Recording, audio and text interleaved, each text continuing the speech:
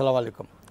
প্রিয় দর্শক, দেশে এবং প্রবাসে বসে এই মুহূর্তে যারা বসে বৈশাখী টিভি দেখছেন, সরাসরি ডাক্তার অনুষ্ঠান থেকে সবাইকে আন্তরিক শুভেচ্ছা। আশা করি ভালো আছেন। আজ অনুষ্ঠানটা প্রচারিত হচ্ছে বিআরবি হসপিটালস লিমিটেডের সৌজন্যে। দর্শক, আজ চমৎকার একটা প্রসঙ্গে আমরা কথা বলব। আমাদের সাথে সারাক্ষণ থাকবেন। দেখবেন নতুন তথ্য জেনেছেন যেটা আগে জানা ছিল না। কিডনি সমস্যা, একটা ভয়াবহ রোগ, কিন্তু প্রতিরোধযোগ্য। অর্থাৎ কিডনি রোগ ভয়াবহ কিন্তু প্রতিরোধযোগ্য। এর ভেতর অনেক যুক্তি রয়েছে। আমাদের সাথে আজকে উপস্থিত হয়েছেন বিশিষ্ট কিডনি রোগ বিশেষজ্ঞ যিনি বিআরবি হসপিটালস লিমিটেডের সেখানে কিডনি রোগ বিভাগের বিভাগীয় প্রধান এবং chief consultant professor doctor M S Samad কেমন আছেন? আলহামদুলিল্লাহ। আপনি কেমন আছেন? ভালো আছি। দর্শক কিডনি রোগ ভয়াবহ এই কথাটা কি সবসময় মেনে নেওয়া যায়? প্রফেসর এম এস সামাদ এটা বলতে খারাপ লাগে। একটা রোগ ভয়াবহ। রোগ মানেই তো খারাপ বা কষ্টের বা ভোগাবে এটাই। কিন্তু এটা ভয়াবহ বলার পিছনে কিছু যুক্তি আছে। যেমন এই মুহূর্তের কথা যদি ভাবি, তাহলে সারা বিশ্বে পঁচাশি কোটি লোক, অর্থাৎ এইটি ফাইভ ক্রোর পিপল কোনো না কোনো কিডনি রোগে আক্রান্ত আছে। তাহলে কতটা এর প্রাদুর্ভাব কতটা ব্যাপক, কতটা বেশি? প্রতি বছর একচল্লিশ লক্ষ লোক দীর্ঘস্থায়ী কিডনি রোগ এবং আকস্মিক কিডনি বিকল হয়ে মৃত্যুবরণ করে। তাহলে এই তথ্যটাও আরও ভয়াবহ।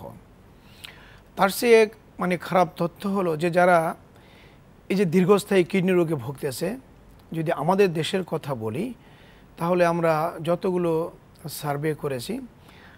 তাতে দেখা গেছে যে ষোলো থেকে আঠারো ভাগ অ্যাডাল্ট পার্সন যারা আছে বয়স্ক লোক যারা আছে তাদের যাদের বয়স আঠারোর উপরে এদের এই দীর্ঘস্থায়ী কিডনি রোগে তারা আক্রান্ত। জি আপনি যেহেতু দীর্ঘস্থায়ী বলেছেন জি যেহেতু দীর্ঘস্থায়ী বলেছেন দর্শক একটা প্রশ্ন ভাবনা আসতে পারে। কিডনি রোগ তাহলে কয় ধরনের? কিডনি রোগ যদি ইন্ডিভিজুয়ালি বলি তো অনেক রকমের আছে কিন্তু প্রধান দুইটা রোগকে আমরা সবসময় বেশি ফেস করি। সেটা একটা হলো দীর্ঘস্থায়ী কিডনি রোগ। দীর্ঘস্থায়ী মানে হলো যে একটা কিডনি রোগ হলো কিন্তু সেটা বিভিন্ন চিকিৎসা করা হলো এবং তার স্থায়িত্বকাল তিন মাসেরও বেশি। আচ্ছা। যেমন প্রধানত ডায়াবেটিস উচ্চ রক্তচাপ নেফ্রাইটিস অতি ওজন ধূমপান বংশগত কারণ দীর্ঘদিন যদি কেউ বিভিন্ন ব্য- ব্যথার ওষুধ যদি খেয়ে থাকে এ সমস্ত কারণে দীর্ঘস্থায়ী কিডনি রোগ হয়ে থাকে। জি। আবার আকস্মিক কিডনি রোগ হলো যে তার কিডনি সম্পূর্ণই ভালো ছিল। জি। কিন্তু হঠাৎ করে কতগুলো কারণে বিশেষ করে আমাদের দেশের কথা যদি চিন্তা করি যেমন ডায়রিয়া বা অতিরিক্ত রক্তক্ষরণ রক্তক্ষরণ সেটা হতে পারে রোড ট্রাফিক অ্যাক্সিডেন্ট হতে পারে প্রসবকালীন সময়ের জন্য অথবা অন্য কোনো কারণে অথবা কোনো ব্যথার ওষুধ আমরা যে খাই একটা দুইটা ওষুধের কারণে অনেক সময় আকস্মিক কিডনি বিকল হতে পারে। তীব্র মাত্রার যদি কোনো সংক্রমণ বা ইনফেকশন হয় যেমন জন্ডিস হলো অথবা টাইফয়েড হলো ম্যালেরিয়া টিউবারক্লোসিস এরা সব কিছুর থেকে কিন্তু আকস্মিক কিডনি বিকল হতে পারে। এটা হলো আকস্মিক কিডনি বিকল। এছাড়া অন্যান্য যে রোগগুলো আরও আছে যেগুলো আসে যেমন কিডনিতে পাথর ইউরিনে কিডনিতে ইনফেকশন এই ধরনের অনেক ধরনের রোগ আমরা দেখি ধন্যবাদ। আরও তথ্য জানব একটা ফোন এসছে কথা বলি। হ্যালো? Hello hello? হ্যালো আর শুনতে পাচ্ছি আপনাকে বলুন প্রশ্ন করুন। আসসালামু আলাইকুম ওয়ালাইকুম সালাম। জি আমি কামরুজ্জামান জেলা নোয়াখালী উপজেলা হাতিয়া সবসাইয়াতে বলছি। জি কি সমস্যা বলুন। যে আমার কথা হচ্ছে আপনার হঠাৎ কিডনি ফেলিউর যেটা বলা হয়। জি। আমি তো বড় লোক হঠাৎ করে কিডনি ফেলিউর হচ্ছে। তো কীভাবে বুঝব যে আমার কিডনিটা নষ্ট হয়ে গেছে? এবং আরেকটা প্রশ্ন হলো কিডনি প্রতিস্থাপনের ব্যবস্থা এই হাসপাতাল আছে কিনা? হ্যাঁ আমরা আলাপ করব প্রতিস্থাপনের কথাও এসছে। আরেকটা কথা কিডনি ফেলিউর তিনি তুলেছেন। কিডনি ফেলিউরটা কি? উনি উনি জানতে চেয়েছেন নাকি ওনার আছে সেটা বলতে না ওনার আছে ওনার নেই উনি জানতে চান। আচ্ছা কিডনি ফেলুর হলো ফেলুর শব্দটা তো আগে আমরা অহরহ ইউজ করতাম যেটা দীর্ঘস্থায়ী কিডনি রোগ যেটাকে বললাম। অর্থাৎ কিডনির কার্যকারিতা যদি কোনো কারণে নষ্ট হয়ে যায় বা ব্যাহত হয় তো সেটাকেই আমরা কিডনি ফেলিওর বলতাম। আমরা হার্ট ফেলিওর বলি লিভার ফেলিওর বলি বলি, একই রকম ভাবে কাজ যদি না করে তাহলে তাকে এর কিন্তু অনেক কথা আছে। জি জি তো যেমন কিডনি অনেক কাজ করে আমাদের দেহের অনেক বিষাক্ত পদার্থ প্রতিনিয়ত তৈরি হচ্ছে। সেগুলো কিডনি বের করে দেয়।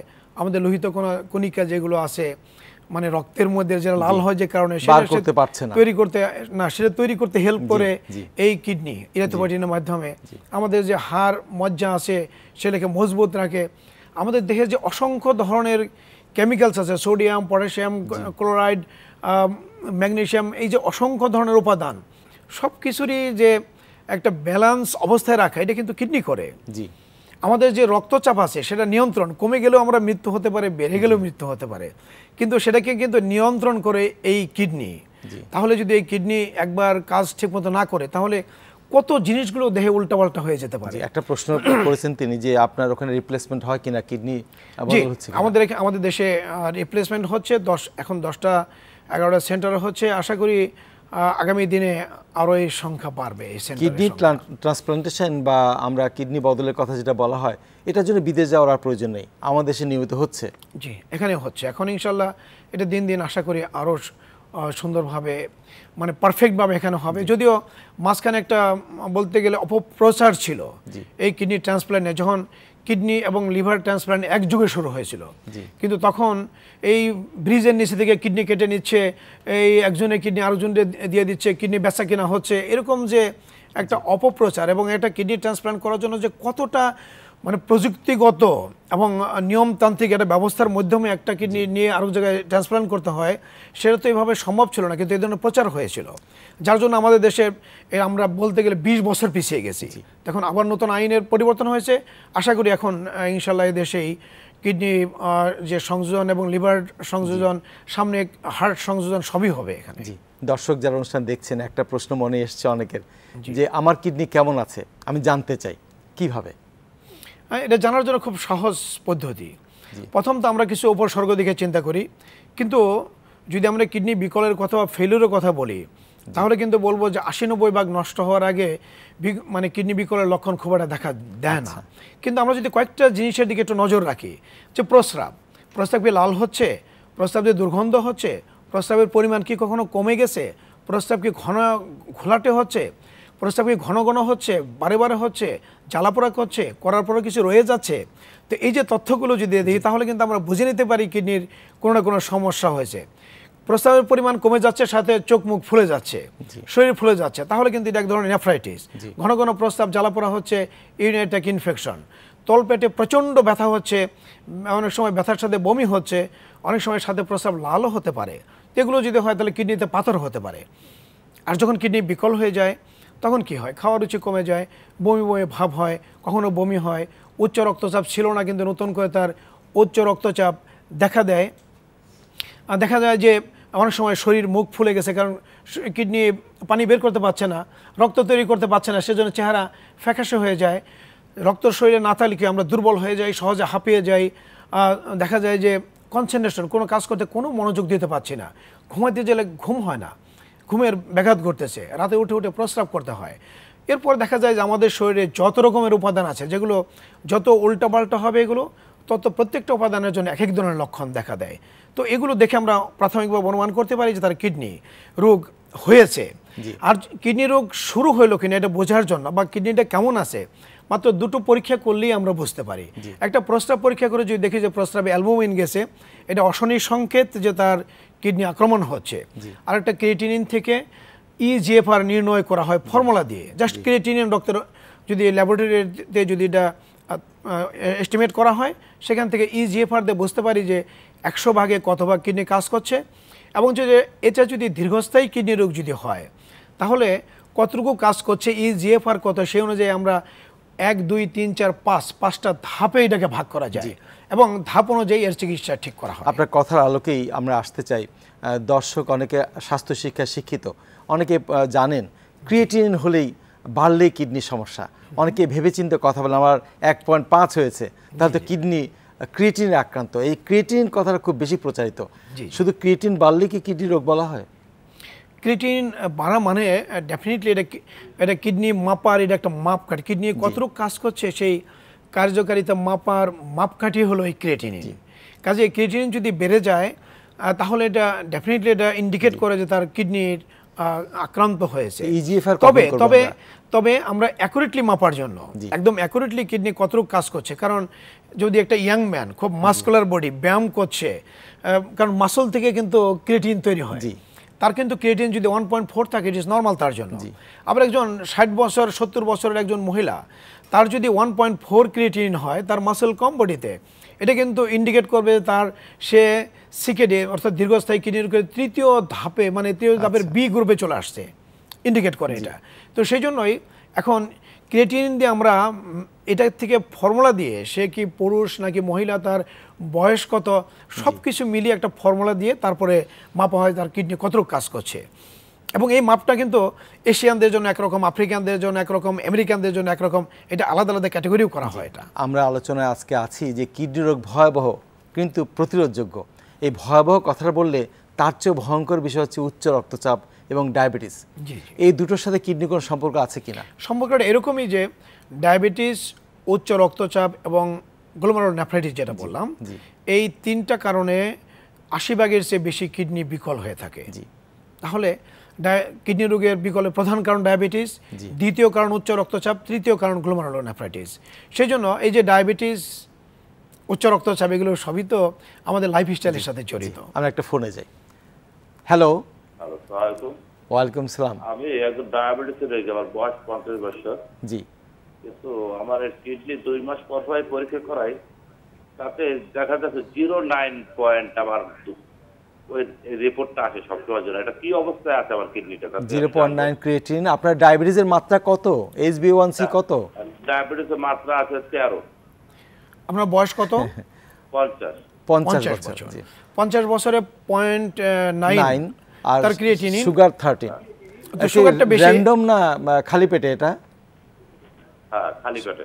খালি পেটে তেরো। আহ, এটা এটা একটা খুব খালি পেট খালি পেটে হলে যে নয় আর ভরা পেটে তেরো। হ্যাঁ, আচ্ছা। খালি পেটে যদি নয় থাকে তাহলে ওটা আপনার আপনার ডায়াবেটিস কিন্তু এটা কন্ট্রোল না।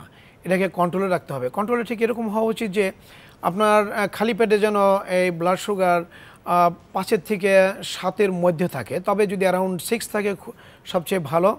আর মাঝে মাঝে আপনার অন্তত তিন মাস বা ছয় মাস পর হিমোগ্লোবিন এ ওয়ান সি এটা এস্টিমেট করে নেবেন। তো হিমোগ্লোবিন এ ওয়ান সি যেন সাতের নিচে থাকে অ্যারাউন্ড সেভেন তো এই দুইটা হলো যে আপনার ডায়াবেটিস এডিকুয়েটলি কন্ট্রোল আছে সেটা ইন্ডিকেট করবে। আর আপনার পয়েন্ট নাইন আছে মানে এখন আপনি ভালো আছেন। আপনার ইজিএফআর যেটা আছে এটা অলমোস্ট নর্মালের কাছাকাছি আছে। তবে এটা কিন্তু ঠিক যে আপনার যে বয়স পঞ্চাশ বছর আপনি কিন্তু আস্তে আস্তে মানে কিডনির ক্ষমতা কমে আসতেছে ধীরে ধীরে কমে আসতেছে। এই জন্য যে প্রতিদিনই আমাদের দেখা যায় যে গড়ে পঞ্চাশ থেকে ষাটটা করে চাকনি নষ্ট হইতেছে। আমরা যারা নর্মাল পার্সন আর যাদের ডায়াবেটিস উচ্চ রক্তচাপ এবং অন্যান্য ফ্যাক্টর আছে এদের কিন্তু এই ক্ষয়ের পরিমাণ অনেক বেশি থাকে। সেই জন্য আপনাকে ডায়াবেটিস কন্ট্রোলে রাখতে হবে। যদি উচ্চ রক্তচাপ থাকে কন্ট্রোলে রাখতে হবে। মাঝে মাঝে আপনার প্রস্রাব পরীক্ষা করে দেখবেন যে মাইক্রো অ্যালবুমিন যায় কিনা। বছরে অন্তপক্ষে দুইবার পরীক্ষা করেন। যদি মাইক্রো যায় না। যায় না ইটস গুড তবে যদি যায় তাহলে যদি প্রেশারের কিছু ঔষধ আছে এসি ইনহিবিটর এআর বি এগুলো যদি খাওয়া হয় তাহলে সেটাকে এই অবস্থায় আবার কন্ট্রোল করা ধন্যবাদ আপনার প্রশ্নের জন্য। যে কথা আসছিল আলাক- আলোকে যে তিনি যেহেতু বলেছেন সচেতন হলেও অনিয়ন্ত্রিত। এমনি অনেক দর্শক আছেন যারা উচ্চ রক্তচাপ ডায়াবেটিস নিয়ন্ত্রণে নাই। তাহলে আমার মনে হয় যে আমরা যেহেতু বলছি কিডনি রোগ ভয়াবহ কিন্তু প্রতিরোধযোগ্য। তাহলে বিশ্ব কিডনি দিবস সামনে রয়েছে। আপনি প্রফেসর এম এস সামাদ আপনি একজন কিডনি রোগ বিশেষজ্ঞ কোনো ব্যবস্থা নিয়েছেন কি বা আলোচনায় অংশগ্রহণ করা তথ্যগুলো প্রচার করা সম্যক ধারণা অর্জন করা কি ব্যবস্থা রয়েছে? আমাদের একটা সংগঠন আছে ক্যাম্পস নামে kidney awareness monitoring and prevention society. আচ্ছা। এটা কিন্তু এবার এটা পনেরোতম বছর আমরা উদযাপন করতেছি আমাদের কার্যকারিতার। তবে বিশ্ব কিডনি দিবস কিন্তু এবার চোদ্দতম। আচ্ছা। অর্থাৎ এই ক্যাম্পস অনুধাবন করছিল নাম দেখেই বুঝতে পারছেন kidney awareness monitoring and prevention society আচ্ছা। বিশ্ব কিডনি দিবস শুরু হওয়ার আগেই কিন্তু আমরা অনুধাবন করতে পারতেছিলাম যেটা প্রতিরোধ করা উচিত। যে আমরা যাব একটা ফোনে হ্যাঁ, যাই তারপর আলোচনা থাকব। জি। হ্যালো। জি হ্যালো আসসালামু আলাইকুম। ওয়ালাইকুম সালাম পরিচয় দিয়ে প্রশ্ন করুন। জি স্যার আমার নাম হচ্ছে সানজিৎ। আমার মার ওই যে আইসিইউতে ছিল এবং তার কিডনির সমস্যা ছিল। কিডনির সমস্যার কারণে মানে ক্রিয়েটিনিন লেভেল হচ্ছে ওয়ান পয়েন্ট ফাইভ এবং স্যার ওনার হিমোগ্লোবিন রেটটা কমে যাচ্ছে বারবার নাইন পয়েন্ট ফোর তো এই ক্ষেত্রে আমাদের হচ্ছে কি ডক্টর একটা ইনজেকশন দিয়েছে যেমন রিকর্মন টাইপের এই ইনজেকশনটা কিসের জন্য এবং এগুলো দিলে কি কোনো ইফেক্ট হবে? খারাপ ইফেক্ট তিনি কি রোগের কারণে আইসিইউতে আছেন? কি রোগের কারণে? জি উনি আইসিইউতে ছিল যে ওনার ব্লাডে ইয়ে পাওয়া গেছিল ইনফেকশন পাওয়া গেছিল তো এখন বর্তমানে সুস্থ আছে। এখন তাও হাত পা ফুলে যেত আগে আমরা অ্যালবুমিন দিয়েছিলাম তিনটা। তো এখন এই ক্ষেত্রে আমাদের ওই নাইন পয়েন্ট ফোরে আসছে কি বলে হিমোগ্লোবিনটা এরপর স্যার এখন ডাউনের দিকে যাচ্ছে। আমরা সংক্ষেপে শেষ করতে চাই গুরুত্বপূর্ণ আলোচনা ছিলাম। আপনি একজন রক্তরোগ বিশেষজ্ঞের সাথে আলোচনা করুন পরামর্শ আগে একটু আমি কথা বলে দিই। এটা। উনি যেটা বলছেন যে রিকর্মন দিচ্ছেন যেটা। অ্যাকচুয়ালি ওনার যেহেতু ইনফেকশন ছিল এবং আইসিইউতে ছিল যারা আইসিইউতে ভর্তি হয় এদের অ্যারাউন্ড ফিফটি পার্সেন্ট ক্ষেত্রেই দেখা যায় এদের কিডনি আক্রমণ হয় এবং এটা আকস্মিক কিডনি আক্রমণ এবং আকস্মিক হওয়ার জন্য ক্রিয়েটিন বেড়েছে এবং রক্ত শূন্যতা যেটা রক্ত যেটা কমে গেছে রক্ত কমার কিন্তু অনেক অনেক কারণ আছে। যেমন এক্ষেত্রে আয়রন ডিফিসিয়েন্সি রোগীর বয়স কত এখন? রোগীর বয়স কত? স্যার রোগীর বয়স হচ্ছে আপনার ফর্টি সেভেন ফর্টি সেভেন কাজে রক্ত তার। ইনফেকশনের কারণে যখন হয়েছে তার সাময়িকভাবে কমে যেতে পারে এই ক্ষেত্রে আমি মনে করি তার ইভ্যালুয়েট করা উচিত যে যে যে ক্রিয়েটিনটা যে একটু বেশি এটা কি আকস্মিক নাকি এটা ক্রনিক যদি ক্রনিক হয় তাহলে তো কিডনির কারণে রক্ত শূন্য হতে পারে। তবে যার এত কম যার ক্রিয়েটিনিন তার কিন্তু এটা এটা এটা এর থেকে Hemoglobin hemoglobin 9.4 এতটা কমার কথা না। সেই জন্য অন্যান্য হিমাটিনিক্স যেগুলো ফ্যাক্টর যেগুলো আছে যেমন ভিটামিন আছে আয়রন আছে এগুলোকে রিপ্লেস করে দেখতে হবে যে তার হিমোগ্লোবিন বাড়ে কিনা। যদি না বাড়ে তখন রিকর্মন ইঞ্জেকশন পরে চিন্তায় আসবে। ধন্যবাদ ফোন করার জন্য। আমরা কিডনি দিবসের আলোচনা ছিলাম। জি জি। তো কিডনি দিবসের জন্য ধারাবাহিকভাবে আমরা আমাদের কাজটাই হলো যে অ্যাওয়ার্ড করা। যেমন এবছর প্রতি বছর আমরা একুশে ফেব্রুয়ারি একটা প্রোগ্রাম করি দেশের বাড়িতে। আচ্ছা। তো এবছর আমরা তেত্রিশশো রুগীর যেটা আমরা করেছি যে আগে থেকে আমরা লিফলেট বিতরণ করি যে কিডনি রোগ কেন হয় লক্ষণগুলো কি প্রতিরোধের উপায় কি সেগুলো নিয়ে এটা আমরা লক্ষাধিক লিফলেট আমরা বিতরণ করে দিই। আর তারপরে তাদেরকে আমরা যারা যারা আসে ওদেরকে দশ দিন আগে থেকে যেমন পরীক্ষা স্ক্রিনিং করে যে যারা সুস্থ মানুষ তাদের মধ্যে কিডনি রোগ আছে কিনা? তো এখানে একটা- তথ্য আমি দিতেই চাই। যেখানে আমরা দেখেছি যে তেত্রিশশোর মধ্যে তাদের আঠারো ভাগে সতেরো পয়েন্ট নাইন ভাগ পার্সেন্ট মানে লোকের মধ্যেই দেখছি যে কিডনি সুপ্ত কিডনি রোগ আছে কিন্তু তারা জানতো না। বিশ্ব কিডনি দিবস সামনে যেহেতু রয়েছে এর তারিখটা কবে? এটা চোদ্দই মার্চ। আহ, কীভাবে আমরা এটা প্রতি বছর ওই সেকেন্ড বৃহস্পতিবার যেটা আছে দ্বিতীয় বৃহস্পতিবার হয়ে থাকে। আপনার প্রচারণার ব্যবস্থা কি নিয়েছেন? আমরা আসলে বিশ্ব কিডনি দিবসের উদ্দেশ্যই হলো যে মানুষকে এই কিডনি রোগের ভয়াবহতা এবং এর প্রতিরোধের উপায় কি এই সম্পর্কে তাদের সচেতন করে দেওয়া। তো এই সচেতনতা করার জন্য আমরা যেমন বিভিন্ন ধরনের মেডিকেল ক্যাম্প স্ক্রিনিং প্রোগ্রাম যেমন নয় তারিখে আছে জাতীয় প্রেস ক্লাবে রাউন্ড টেবিল সে রাউন্ড টেবিলে একদম বিশেষজ্ঞ থেকে শুরু করে সেলিব্রিটি এবং সরকারি পর্যায়ের যারা উপরস্থ কর্মকর্তা আছে স্বাস্থ্যের সাথে জড়িত সবাই সেখানে থাকবে। চোদ্দ তারিখে আমাদের র্যালি আছে সেই সাথে যৌথভাবে Bangladesh renal association CAMPS kidney foundation আমাদের আলোচনা অনুষ্ঠান আছে যেখানে আমাদের মন্ত্রী মহোদয় থাকার জন্য সম্মতি দিয়েছেন। সেটা হবে আমাদের বিএসএম কনফারেন্স হলে। তো এভাবে আমরা আরও বিভিন্ন লেখালেখি করে বিভিন্নভাবে টেলিভিশন টক শোর মাধ্যমে বিভিন্ন লেকচার দিয়ে দিয়ে বিভিন্ন জায়গায় গিয়ে গিয়ে আমরা চেষ্টা করছি যে মানুষকে এই কিডনি রোগের ভয়াবহতা এবং এটার প্রতিরোধের উপায় কি এ সম্পর্কে সচেতন করার জন্য। আমরা একটা ফোনের সংযোগ নেই। জি। হ্যালো হ্যালো জি আলাইকুম। ওয়ালাইকুম সালাম। পরিচয় দিয়ে প্রশ্ন করুন। জি আমার নাম ইলিয়াস আমি গোলশান থেকে বলেছি। জি কি জানতে চান? আমার বয়স পঁয়তাল্লিশ আমি ডায়াবেটিস রোগে ভুগতেছি। জি। তো কিছুদিন আগে আবার আমি চেক করলাম কিডনি চেক করিয়েছি তো এখানে ওয়ান পয়েন্ট ওয়ান আসছে। এটা কি কোনো প্রবলেম বা এটা কোনো চিকিৎসা আছে কিনা? সবারই একটা ভাবনা creatine one point one one point one point one it's এটা নর্মাল এবং পঁয়তাল্লিশ বছর এই জেএফআর যদি নির্ণয় করা হয় দেখা যাবে আপনার অ্যারাউন্ড এইটি বা মোর দ্যান এইটি আছে এটা ইটস নর্মাল এটা। ডায়াবেটিস আছে বলছেন? জি।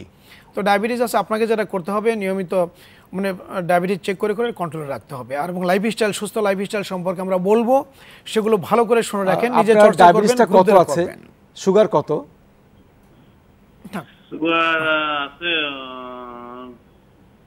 সুগার খালি পেটে?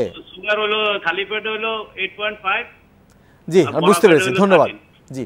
আরেকটু কন্ট্রোল করা আর কন্ট্রোল কন্ট্রোলে হবে। আনতে হবে। আহ, অনিয়ন্ত্রিত যেন না হয়। ধন্যবাদ ফোন করার জন্য। আমরা আলোচনা আসি। কিডনি রোগ আর কি কি অসুখ করতে পারে আমার দেহে? কিডনি রোগ এটাকে ডিজিজ মাল্টিপ্লায়ার বলা হয়। অর্থাৎ এটা নিজে যখন থাকে কিডনি রোগ তো নিজে যখন কিডনি রোগ থাকে তার শেষ পরিণতি হতে পারে এক নম্বর দুই নম্বর তিন নম্বর চার নম্বর পেরিয়ে পাঁচ নম্বরে যখন যায় তখন তো তাকে ডায়ালাইসিস অথবা কিডনি সংযোজন করতে হয়। তো তা না হলে হয় মৃত্যু হতে পারে। অকাল মৃত্যুই যেটাকে আমরা বলি অকাল মৃত্যু হতে পারে। আর তার চেয়ে ভয়াবহ যেটা সেটা হলো যে কিডনি রোগ যার মধ্যে আছে এই কিডনি রোগ কিন্তু অন্য যে রোগগুলো আছে সেগুলার প্রাদুর্ভাব অনেক বাড়িয়ে দেয়। যেমন ধরুন হার্ট ডিজিজ যার কিডনি রোগ আছে তার হার্ট ডিজিজ হওয়ার সম্ভাবনা সাধারণ মানুষের চেয়ে অনেক গুণ বেশি। তার স্ট্রোক হওয়ার সম্ভাবনা অনেক গুণে বেশি। তার ইমিউনিটি যেহেতু কমে যায় সেজন্য বিভিন্ন ধরনের ইনফেকশন হয়ে তার মৃত্যু হওয়ার সম্ভাবনা অনেক গুণে বাড়িয়ে দেয়। সেজন্যই কিডনি রোগকে বলা হয় ডিজিজ মাল্টিপ্লায়ার জি একটা গুরুত্বপূর্ণ প্রসঙ্গে এবার আসি যেহেতু শেষ পর্যায়ে আমরা যাব সেটা হচ্ছে কিডনি রোগ ভয়াবহ কিন্তু প্রতিরোধযোগ্য। এই প্রতিরোধটা করব কি করে? হ্যাঁ এই এ প্রসঙ্গে একটু বলতে চাই যে আমি যে ওয়ার্ল্ড কিডনির যদি আপনার ডের যদি ওয়েবসাইটে যান দেখবেন যে আমাদের সাউথ এশিয়ান রিজিয়ন যেটা পাকিস্তান বলেন ভারত বলেন এদের কিন্তু যাদের কিডনি বিকল হয়ে যায় তাদের চিকিৎসাবিহীন মৃত্যু হয় নব্বই ভাগের চেয়ে বেশি লোক। আচ্ছা। চিকিৎসাবিহীন। আচ্ছা। কেন চিকিৎসাবিহীন? এটা এই কিডনি রোগ যদি কিডনি যদি একবার বিকল হয়ে যায় এর চিকিৎসা ব্যয় এত বেশি যে আমাদের মতো এই এইসব উন্নয়নশীল দেশের পক্ষে চিকিৎসা চালিয়ে যাওয়া সম্ভব না। এবং ছাপ্পান্নটা কান্ট্রি আছে তারা চিকিৎসা করতেই পারে না। এই যে মানে যদি একবার ফেলোর হয়ে যায় তাদের চিকিৎসার কোনো সামর্থ্যই নেই। কিন্তু আমরা প্রতিরোধ করতে চাই। কিন্তু আমরা যদি একটু সচেতন হই। আমরা ষাট থেকে মানে পঞ্চাশ থেকে ষাট ব্যাগ ক্ষেত্রে প্রতিরোধ করতে পারি। কীভাবে সেটা? কিছু না খুব সহজ। জি। শুধু আমাদের সুস্থ লাইফস্টাইল মেনটেন করা। জি। সুস্থ লাইফস্টাইলটা কি? সেটা হলো যে আমরা সচল থাকব। প্রতিনিয়ত প্রতিদিন যদি আমরা গড়ে পনেরো মিনিট হাঁটি আমাদের গড়ায়ও তিন বছর বাড়তে পারে এটা আমি বহুবার বলি। আচ্ছা। এবং তারপর পরবর্তী প্রতি পনেরো মিনিটের জন্য আপনার দুই বছর করে বাড়তে থাকে। এবং আমরা যদি প্রতিদিন মানে গড়ে নব্বই মিনিট করে হাঁটি তাহলে তেরো বছর পর্যন্ত আমাদের সুস্থ লাইফ বেড়ে যেতে পারে। তাহলে আমাদের হাঁটতে হবে এক্সারসাইজ করতে হবে বাচ্চাদের শেখাতে হবে হাঁটার সরকার যাচ্ছে তার হাঁটার প্রত্যেকটা জায়গায় মানুষের যেন এক্সারসাইজ করতে পারে। যত নগর যত শহর জেলে গড়ে উঠতেছে তাদেরকে খেয়াল রাখতে হবে যে এই এক্সারসাইজের সুযোগ যেন তারা রাখে এটা একটা। জি। আমরা তো জি। আমরা তো সময় পাচ্ছি না। অনেক তথ্য একটু আধা মিনিটে বলে দিই। জি। দ্বিতীয়ত হলো যে ওজন নিয়ন্ত্রণে রাখা এবং সুস্থ খাবার হেলদি ডায়েট খাওয়া। তৃতীয় নাম্বার হলো যে যে ব্যথা বেদনার ওষুধ যেগুলো সেগুলো না খাওয়া। চতুর্থ হলো কারও যদি বংশের রোগ থাকে বা ডায়াবেটিস থাকে উচ্চ রক্তচাপ চাপ থাকে সচেতন হওয়া। আমরা এগোতেই পাচ্ছি না। আপনাকে ধন্যবাদ। শুভেচ্ছা আপনাকে। দর্শক বিআরবি হসপিটাল সৌজনে এতক্ষণ দেখছিলেন সরাসরি ডাক্তার অনুষ্ঠান। আবারও দেখা হবে, কথা হবে নতুন কোনো বিষয় নিয়ে। ধন্যবাদ সবাইকে।